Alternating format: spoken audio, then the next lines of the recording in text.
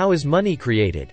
Suppose that a depositor goes to a bank and deposits $100. First, the bank will set aside the reserve requirement amount, 15% for example, which will be $15.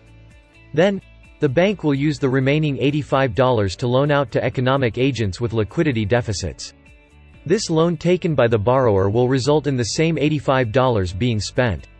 These dollars will eventually make their way back to the bank in the form of another deposit.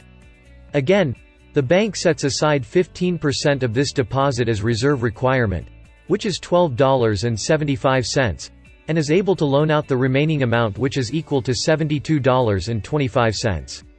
The process continues until no more funds can be lent or deposited.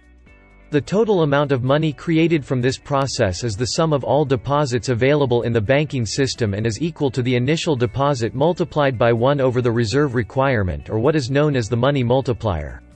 In our example, the money multiplier is 1 divided by 0.15, which is equal to 6.67, so the total money created is $100 divided by 0.15, which is equal to $667.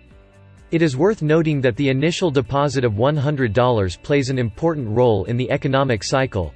It is considered a driver for the creation of the $667.